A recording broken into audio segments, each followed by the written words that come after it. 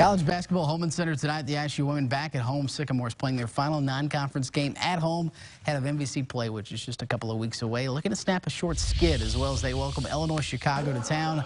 Third quarter, Sycamores already with a big lead for Coach Killinger when Deljanae Williams find Caitlin Anderson in transition for a couple more. ISU up 44 to 19. Later in the third, Sycamores continue their scoring with some nice ball movement here. It's Marie Hunter closing down this play and finishing it off with two more.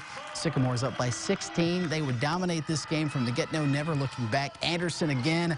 How about an and one? She finished with a career high 16 points as Indiana State. They beat Illinois Chicago 76 to 50. The final ISU now 4 and 6 on the season. They will head to Fort Wayne to wrap up non-conference play next week.